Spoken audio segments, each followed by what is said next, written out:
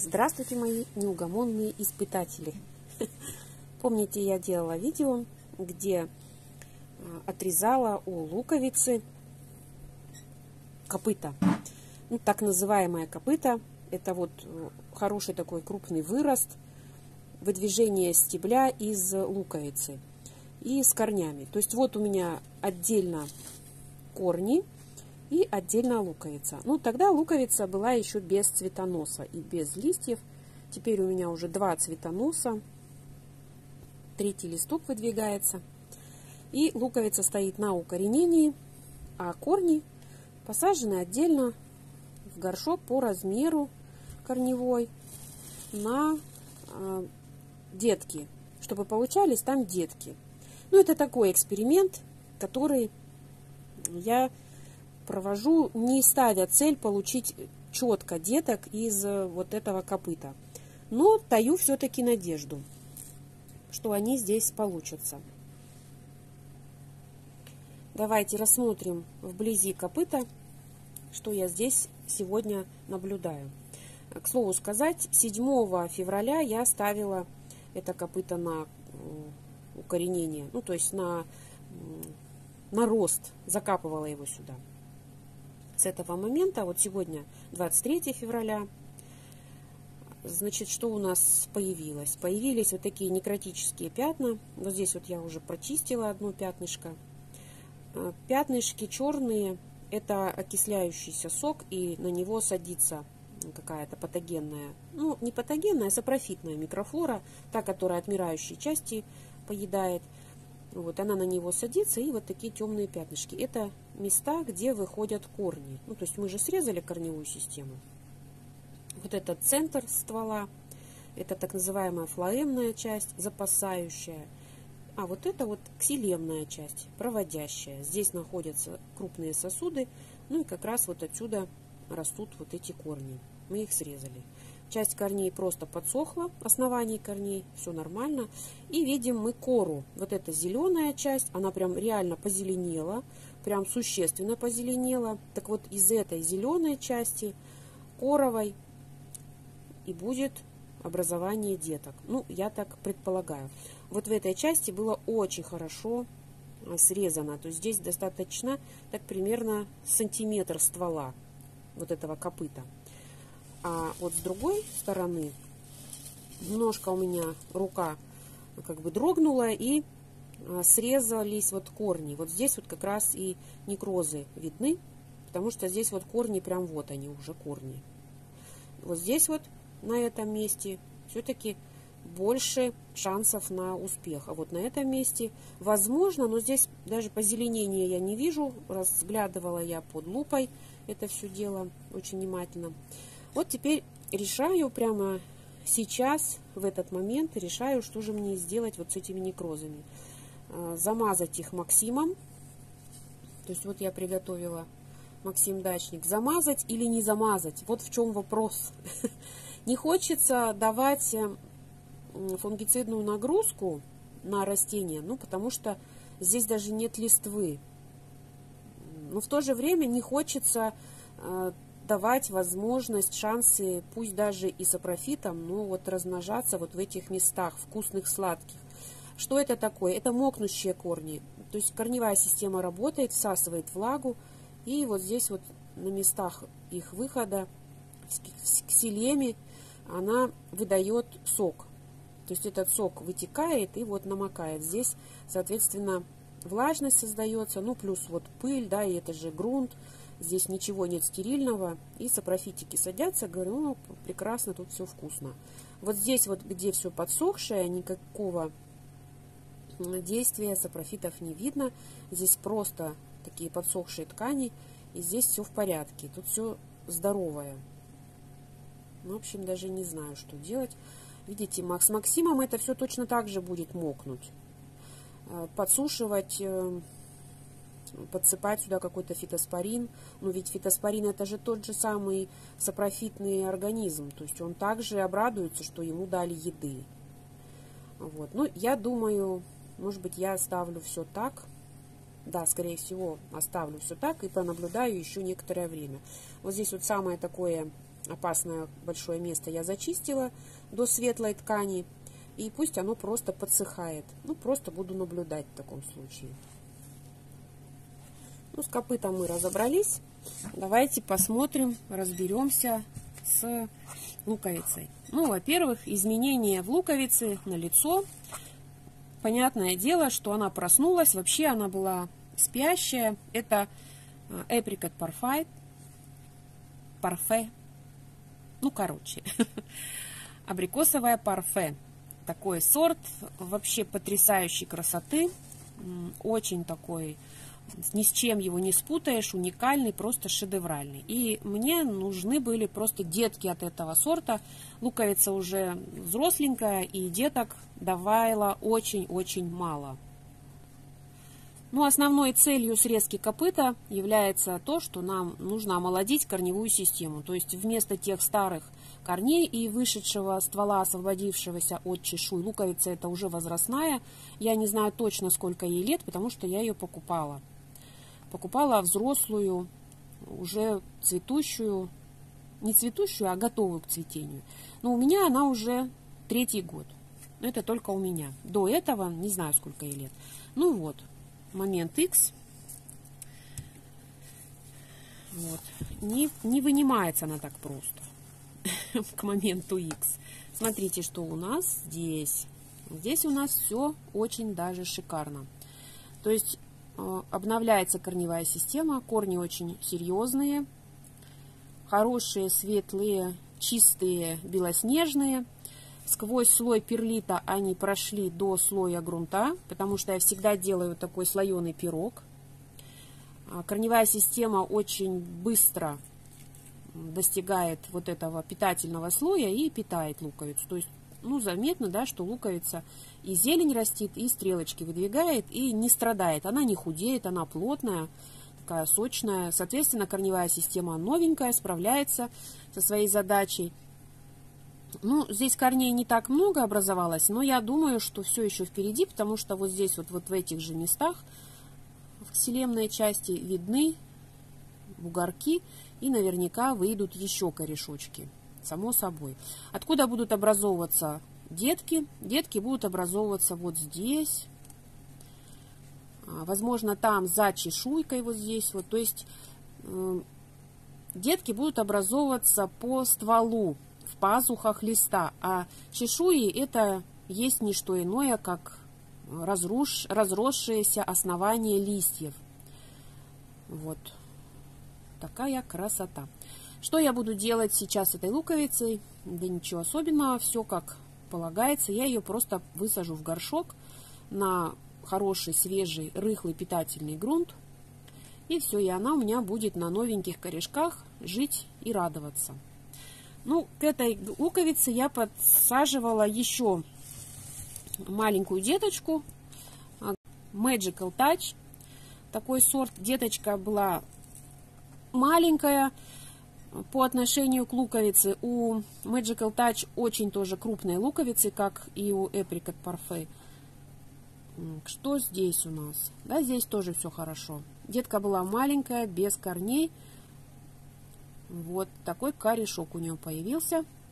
Ну все, теперь, когда я вижу, что и листики стали выдвигаться, то есть деточка получает питание воду из корешка, соответственно, под светом уже старается э, функционировать так, как положено на своих корнях, своими листьями, обеспечивать себя питанием.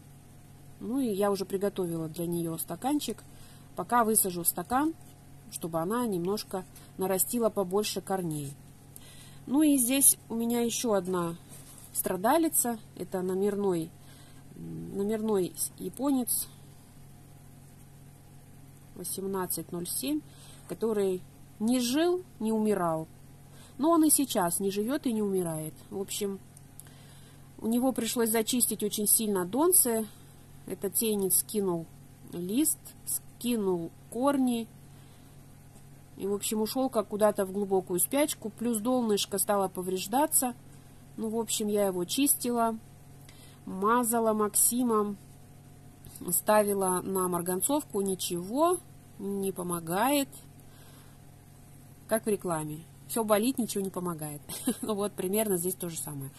Значит, для этого сеянца, ну, время не пришло. Для вот этой луковочки маленькой. Время не пришло, значит, я то же самое сделаю, ну, продолжу делать. То есть поставлю также на перлит и также оставлю до возникновения либо корней, либо, возможно, здесь вот на донце. Донца очень мало, прям крайне мало живой ткани донца осталось. А, были большие повреждения, возможно, она начнет образовывать там деточек. Процесс может занять несколько месяцев. Но вот пока а, есть такие твердые ткани, пока есть какая-то зелень, вот здесь вот видна, да, зелень, то есть какой-то слабый, вот здесь под шкуркой, видите, зелень, какой-то фотосинтез осуществляется, но из жизни здесь, в этих клетках происходит. Значит, что-то есть, что-то будет, ну, либо корни, либо детки. То есть одно из двух. Но жизнь точно есть. Поэтому вот такие вот варианты тоже не выбрасывайте, оставляйте. Оставляйте уже до конечного результата. Либо сгниет, помрет окончательно, ну, либо жить начнет. Ну, единственное, что, конечно, я уже не в этой бадье это как бы большая плошка для нее одной. А я э, ее пересажу вот в маленький стаканчик. Сделаю такой же слоеный пирог. То есть внизу в стаканчик насыпается грунт питательный. Даже хотя бы торф. Но он все равно уже считается грунтом. Потом сверху перлит белый. Почему он розовый у меня? Потому что я его проливала остатками э, от Максима. Можно пролить марганцовкой тоже нормально. Это, знаете, ну такое, это и обеззараживание, и ну, помогает там проводящим, а, проводящим процессам. То есть калий у нас является элементом проводником. Ну, пойдемте теперь садить. С Magical Touch поступим таким вот образом. На подготовленный грунтик я просто вот этот перлит добавлю в качестве такого слоя на всякий случай. Кстати, для новичков мотайте на ус, что прослойка перлита служит таким препятствием для а, развития ну, неприятностей, там, скажем так, заболеваний донца, потому что если луковички у вас ну, не домашние там, или проблемные какие-то, и вы сажаете прям, ставите луковичку на грунт, то всегда есть опасность при поливе, при увлажнении получить обратно инфекцию на донышко, потому что ткани донца, они рыхлые, плюс вот этот сок, выступающий из луковицы, смотрите, вот почему здесь донце красное у этой большой луковицы, потому что здесь выступает сок, он окисляется на воздухе, и он краснеет. А сок, что такое сок растения? Это а, Раствор насыщенный сахарами. Все запасы растения делают в виде сахаров. Ну, или углеводов. Там разные формулы, разные вещества, но все равно все они, CH-связи, это все равно они все относятся к классу сахаров.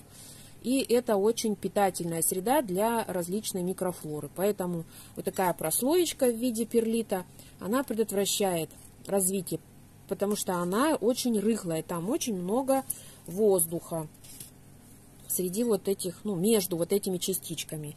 Корешочек здесь один, поэтому очень аккуратненько делаю такую щель в грунтике и очень аккуратненько вставляю туда корешок. Слегка, слегка, слегка просто прижимаю, ну, просто чтобы перлит немножко осел. Все, все, больше ничего, никаких манипуляций. Вот просто так установить, корешок направить в грунтик и все. С поливом, как быть с поливом? Поливаю, ну, у меня здесь грунтик такой суховатый, я сейчас полью на самом деле. Здесь было сыро, ну так, влажно прям, хорошо влажно. А здесь сухо, поэтому, чтобы корневая не страдала, конечно, я вот сейчас просто полью немножко. Ну, понятие немножко. Опять же, смотрите, у всех оно разное, но если вы польете так конкретно и очень очень будет у вас сыро, значит поливки это и хватит надолго. И смотрите по вашей температуре. У меня все-таки в теплице, поэтому в морозные дни ночами здесь э, серьезно опускается температура. Теплые дни солнечные она серьезно повышается. Поэтому Здесь все индивидуально с увлажнением. Если у вас квартира и сухой воздух, батареи, ночами тепло, то, естественно, вам следить за влажностью придется более пристально и внимательно и вовремя подливать, потому что пересушивать такую еще маленькую корневую систему тоже не стоит. Но и заливать, опять же, тоже не стоит. Имейте всегда это в виду. Так, еще хотела остановиться на вот этом копыте. Явно будет вопрос, а как же мы его поливаем. Поливаем мы его крайне аккуратно, и опять же по причине. Ну, во-первых, не льем вот сюда, вот прям вот прям. Прям-прям к этому копыту, вот сюда мы не льем. Вот видны следы здесь увлажнения. Я не лью вот сюда и не лью вот сюда. Я лью вот как будто бы здесь такая небольшая бороздка. Видите, такой вот кружочек. Вот лью совсем немножко, как бы по проекции корней. А вот как раз сюда попадает влага, она уходит вглубь стекая так вот по корешкам. Ну и, соответственно, где-то вот в этом районе самая такая оптимальная влажность находится. Лью совсем редко и мало, но опять же в силу того, что у меня такие условия, такие температурные условия. И здесь нет никакого испарения, то есть э, сам вот этот срез, он, ну, испаряет, если, то это крайне мало. Крайне мало. Вот мы даже видим, да, что корневая система немножко выдает больше, чем нужно э, сок то есть э, даже с избытком. Поэтому вот этот горшок поливаю я крайне мало. Главное, чтобы там где-то в глубине, вот если немножко так вот разрыхлить, то более темная, да, более темный цвет грунта, значит там влага содержится. И для корневой системы этого будет достаточно.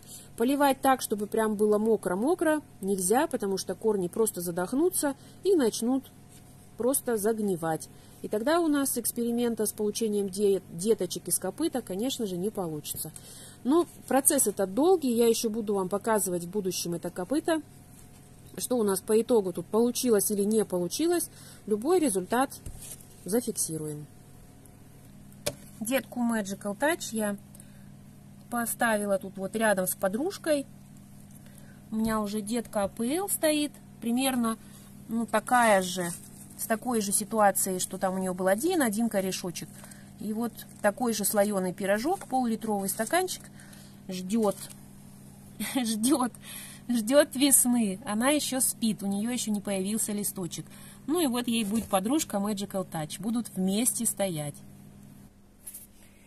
Для луковицы я беру квадрат 7-литровый, технический горшок, он глубокий, не очень широкий. Ну, вы видите, да, какая корневая система и почему я беру все-таки такой большой горшок. Ну, я беру это на вырост, понимаете? Вот я сейчас с ней поработаю и больше я к ней особо подходить не буду.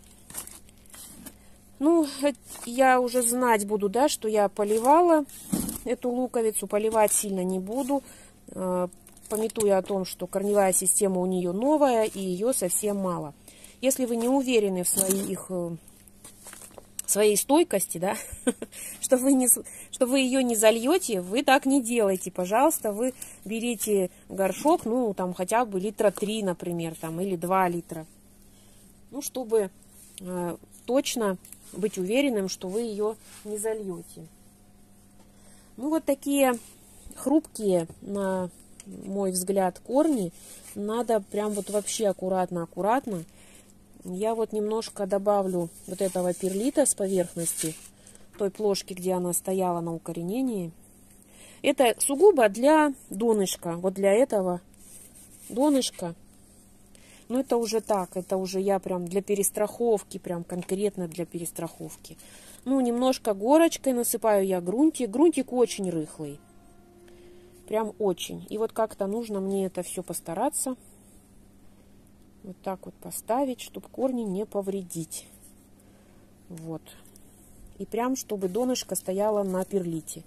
Все остальное засыпаю грунтом. Грунт у меня в этот раз суховатый. Мы здесь работали с другими культурами, и это немного осталось. Я решила, что для этого горшка будет достаточно. Ну и не стала его уже дополнительно увлажнять. Но он не совсем сухой. Он все-таки такая влажность у него все-таки есть. Значит, чтобы не заглублялась луковица, я просто немножко подвигаю туда грунтик под нее, а немножко уплотняю по краю. Ну, это уже как вы будете сажать. Тут, знаете, тут, делаю я так, потому что я прям здесь и нахожусь. Я руками чувствую это. Вот. Ну, все. Все, готово. Вот так она у меня и будет жить. Полив э, сделать нужно будет вот по самому краю. Небольшой полив. Всегда помня о том, что здесь корней очень еще мало. И чтобы мне ее не залить. Ну вот. После посадки выставляю ее к своим же друзьям.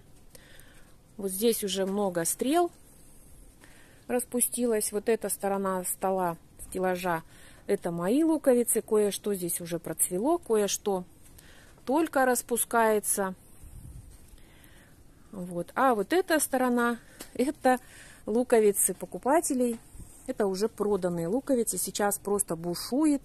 Хочу вам обязательно показать эту красоту. Бушует 40 дробь 1 сеянец просто потрясающий, огромный.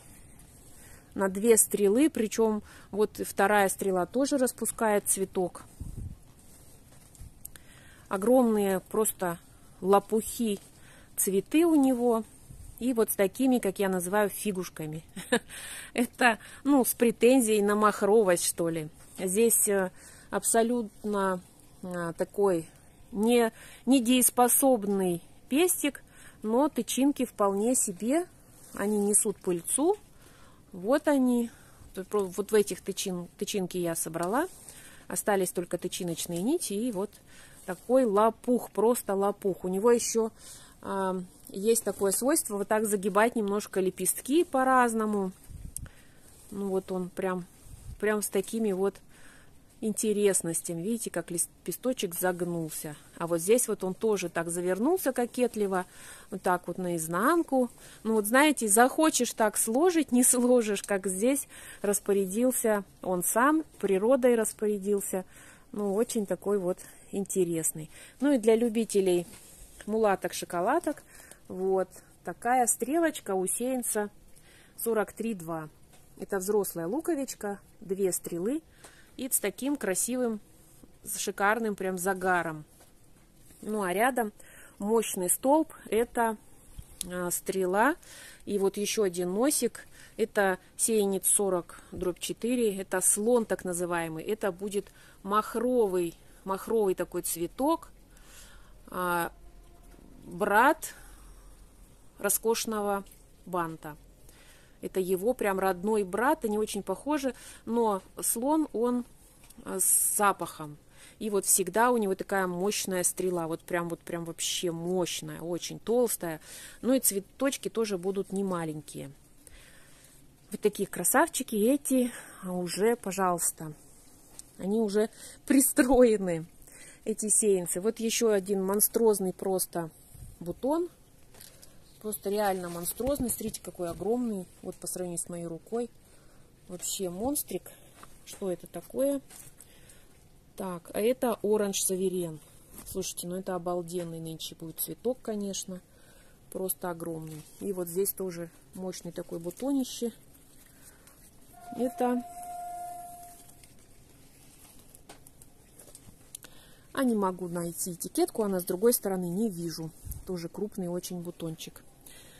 Вот, собственно, вот так выглядят растения сейчас у меня. Что-то с листьями, что-то на бутонах. Ну и рядом с ними будет жить на новых корнях Apricot Parfait. И будем наблюдать ее цветение в скором времени. Ну, не знаю, в каком уж скором. Все будет зависеть от погоды. Если у нас будет а, тепло, то расцветет побыстрее. Если у нас будет холодно ночами, то будет немножко притормаживать цветение. Скоро будем наблюдать э, цветение сеянца 43-го кросса. Очень-очень темный бордовый такой цвет, изнанка прям очень темная. Такая, знаете, бархатная структура. Два цветка, это самое первое цветение у этой луковицы. Одна стрелочка. Луковочка не крупная, прямо скажем, не крупная. Возможно, цветок будет такой немножко даже махровый. Ну, дорогие друзья, э, все мы с вами сделали, пронаблюдали, что с луковицей все в порядке, и она высажена в постоянный горшок и переехала э, жить к своим подружкам в цветущий уголок гипиаструмов. Всего вам доброго. До свидания.